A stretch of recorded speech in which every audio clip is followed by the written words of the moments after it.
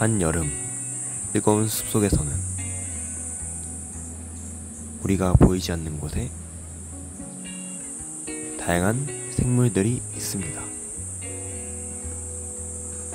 오늘 이 작은 생물들을 카메라에 담으러 한번 가보도록 하겠습니다.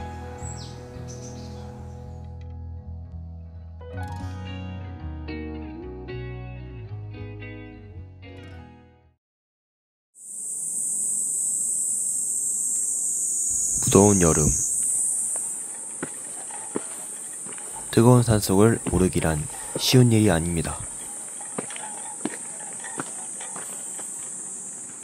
그렇게 오르고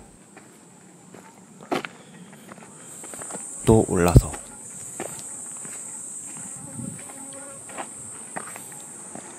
드디어 첫 번째 곤충을 맞이합니다. 바로 토파늘 쏘입니다. 전체적으로 검은색 몸을 하고 있으며 아주 무시무시한 얼굴을 한 친구죠. 굵은 더듬이를 가지고 있는 것이 특징입니다. 주위를 둘러보던 도중 시큼한 냄새에 이끌려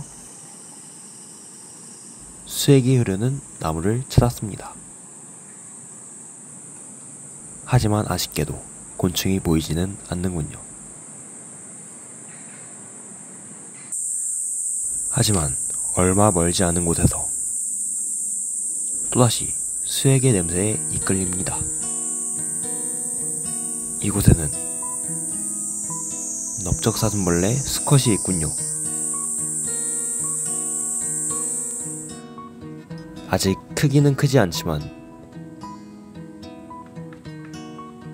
그래도 멋진 수컷입니다.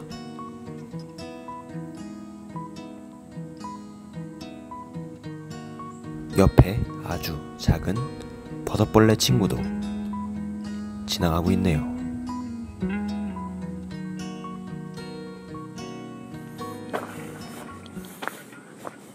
또다시 숲을 지나던 도중 개미가 몰려있는 것을 발견했습니다.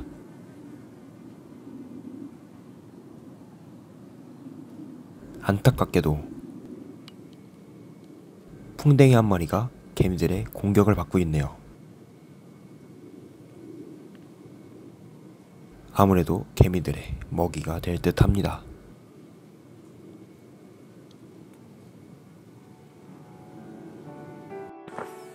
오늘은 이렇게 간단히 곤충들을 카메라에 담아봤습니다.